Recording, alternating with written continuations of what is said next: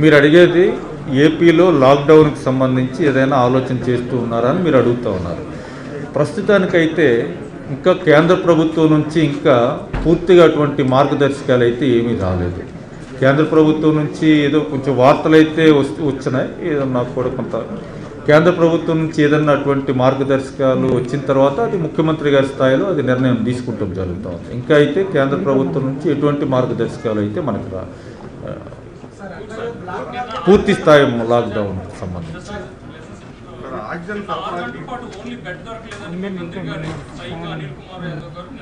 నెల్లూరులో మాత్రం బెడ్లు దొరకలేదు దాదాపు ఆరు గంటల పాటు బయట నిరీక్షణ ఉంటున్న పరిస్థితి. ఇక్కడ చూసుకున్నటువంటి కొద్దిసేపటి మీ ఎమ్మెల్యే మీ ఎమ్మెల్యేనే మద్దలగిరి గారు దాదాపు ఇరవై గంటల టైం పడుతుంది. ఒక బెడ్ దొరకాలి అంటే అంటే బెడ్ల కొరత ఉంది ఒకవైపు చూసినట్టు మీరు కొద్దిసేపటి క్రితమే చెప్పారు ఇది కదా, ఆక్సిజన్ కొరత ఉంది రాష్ట్రంలో అంటారు. ఒకవైపు నుంచి కేసులు పెరుగుతున్నాయి. అంటే ముందు ఒకదాని తర్వాత ఒకటి. మీరు అనేది బెడ్ల కొరత గురించి అడుగుతా ఉన్నారు. కదా ఫస్ట్ బెడ్ల కొరత. ఈ ఈ బెడ్ల కొరతకు సంబంధించి ఇందాక నుంచి మీరు కూడా రివ్యూలో ఉన్నారు.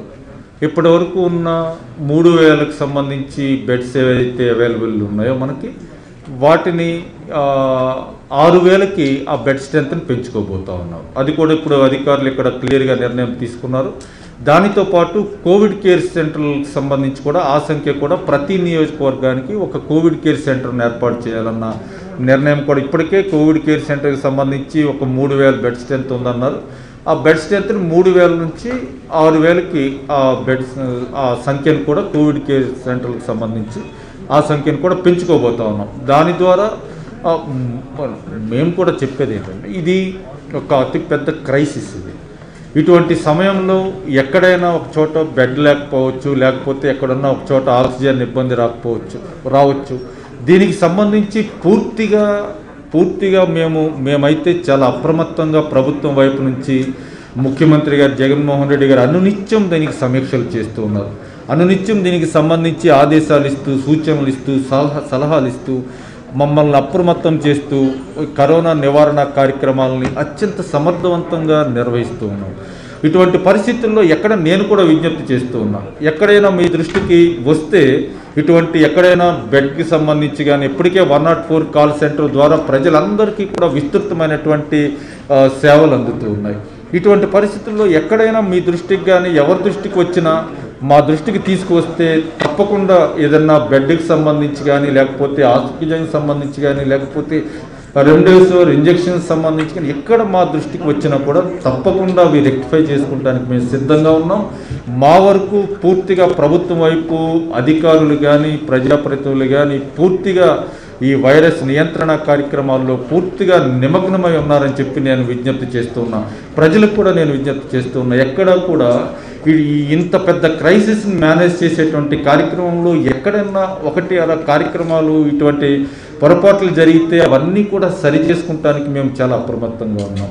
దయచేసి ఎక్కడ కూడా ఉదాహరణకు విజయనగరంలో ఒక ఇన్సిడెంట్ జరిగింది. దాన్ని ఏ విధంగా అసలు చంద్రబాబు నాయుడు గారు అవి ఎంత దారుణంగా అటువంటి మరి అన్ని సంవత్సరాలు తొమ్మిది సంవత్సరాలు మరి ముఖ్యమంత్రి చేసినటువంటి వ్యక్తి ఇప్పుడు బాధ్యతాయుతమైనటువంటి ప్రతిపక్ష నాయకుడిగా ఉన్నటువంటి వ్యక్తి ఆ విధంగా ఇవి ప్రభుత్వ హత్యలు అంటాడు. అసలు అవి ఏ కారణంతో ఆ మరణాలు జరిగినాయి? అది కోవిడ్ సంబంధించి కారణమా? లేకపోతే మేము కమిటీ వేసి ఆ కమిటీ టెక్నికల్ కమిటీ వెళ్తూ ఉంది. దానికి సంబంధించి నిజ నిర్ధారణ కమిటీ మేము అక్కడ కలెక్టర్ గారు అందరూ కూడా ఎంక్వైరీ చేస్తూ ఉన్నారు. ఈలోపే ప్రజలను భయభ్రాంతులకు గురి చేస్తూ ఇది కోవిడ్ మరణాలు లేకపోతే ఇవన్నీ ఆక్సిజన్ లేకపోవటం వల్ల జరిగిన మరణాలు ఇవన్నీ కూడా ప్రభుత్వ హత్యలని ఎంత దారుణంగా నీచంగా ఆయన మాట్లాడుతూ ఉన్నాడంటే ఇటువంటి పరిస్థితుల్లో బాధ్యత కలిగినటువంటి ఒక ప్రతిపక్ష నాయకుడిగా ప్రజలకు అందుబాటులో ఉండి ప్రజలకు అండగా నిలబడాల్సినటువంటి మాజీ ముఖ్యమంత్రి చంద్రబాబు నాయుడు గారు ఈ విధంగా ఇటువంటి ఒక ఈ ఇటువంటి ఒక సిచ్యుయేషన్ను కూడా ఇటువంటి పరిస్థితిని కూడా ప్రజలు తీవ్రమైనటువంటి ఆందోళనలో ఉన్నటువంటి పరిస్థితిని కూడా ఆయన రాజకీయ లబ్ధికి వాడుకోవాలని ఎంతసేపు గౌరవ ముఖ్యమంత్రి గారు జగన్మోహన్ రెడ్డి గారి మీద బురద జల్లటం ద్వారా రాజకీయ లబ్ధి పొందాలని ఇటువంటి నీచమైన దా దారుణమైన ఆలోచనలు చంద్రబాబు నాయుడు గారి చేయటం అనేది నిజంగా ఇది మానవత్వానికే మాయని మచ్చని చెప్పి నేను తెలియజేస్తూ ఉన్నా. చంద్రబాబు నాయుడు గారిని కూడా నేను విజ్ఞప్తి చేస్తూ ఉన్నా.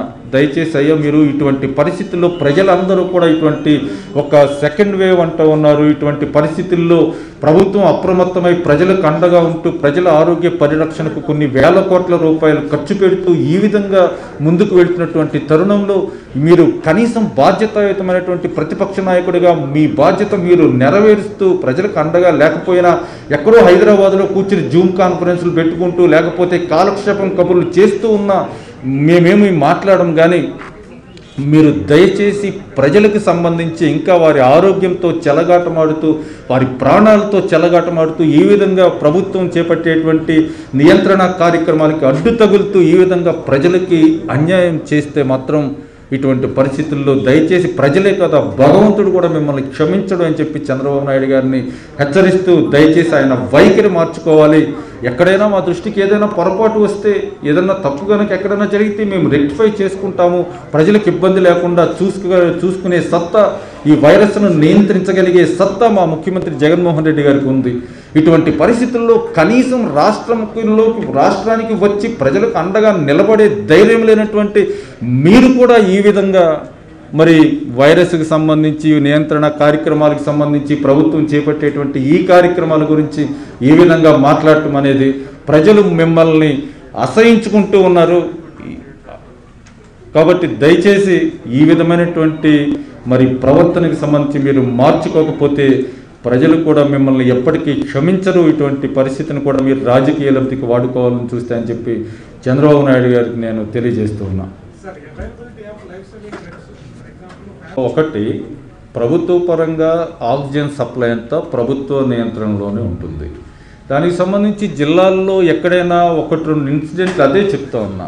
ఇది ఇంత పెద్ద పాండమిక్ ఇటువంటి సిచ్యుయేషన్లో ఏదైనా జరిగితే గనుక మా దృష్టికి మేమైతే అంటే ఒకడన్నా గుంటూరులో ఒక ప్రాంతం ఒక హాస్పిటల్కో లేకపోతే ఎక్కడన్నా ఒక వైజాగ్లో ఒక హాస్పిటల్ దగ్గర ఇటువంటి ఎంత చేసినా ఈ ఇటు ప్రజలకి సంబంధించి ఇటు ఇంత పరిస్థితుల్లో ఉన్నటువంటి పరిస్థితిని కూడా వ్యాపార లబ్ధితో ఆలోచించే వాళ్ళు ఉంటారు అక్కడక్కడ. అటువంటి పరిస్థితుల్లో ఏదన్నా మీ దృష్టికి తీసుకురండి. ఇమ్మీడియట్గా ఇప్పుడు గుంటూరు జిల్లాలో ఒక ఇన్సిడెంట్ ఏదో నా దృష్టికి వచ్చింది.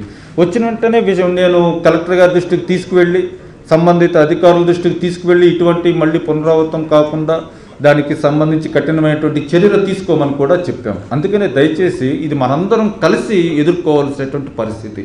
ఒకవైపు ప్రభుత్వం ఒకవైపు ప్రజలు ఒకవైపు మీరు కానీ మనమందరం కూడా కలిసి ఏకతాటిపై ఈ వైరస్పై పోరాటం చేయగలిగితేనే దీనికి సంబంధించి మనం విజయం సాధించగలుగుతాం. దయచేసి నేను కూడా మీకు విజ్ఞప్తి చేస్తున్నా మీకనే కాదు ఎవరికైనా ప్రజలకు కానీ అందరికీ దయచేసి ప్రభుత్వం చేపట్టేటువంటి ఈ నియంత్రణ కార్యక్రమాల్లో మీరు కూడా భాగస్వామై మీ సహకారాన్ని కూడా అందచేయండి. అదేవిధంగా మీడియా వారికి కూడా మీ దృష్టికి ఏదన్నా వస్తే దానికి కరెక్ట్గా అందులో ఎంత వాస్తవం ఉంది అనేది మీరు కన్ఫర్మ్ చేసుకుని మా దగ్గర మమ్మల్ని కూడా అడిగితే అందులో ఏదైనా ఏంటి ఇందులో ఇటువంటి వార్తలు వస్తూ ఉన్నాయి.